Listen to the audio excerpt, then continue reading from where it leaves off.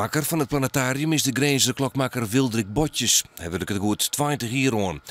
Het mechaniek had het snelle gedachten al een decennium lang net medien en we het daarom op een jouwer raderke voor raderke naisjoen. Een drege put. Er moet geen rond op lagen zitten, er moet geen kromme tosken in zitten.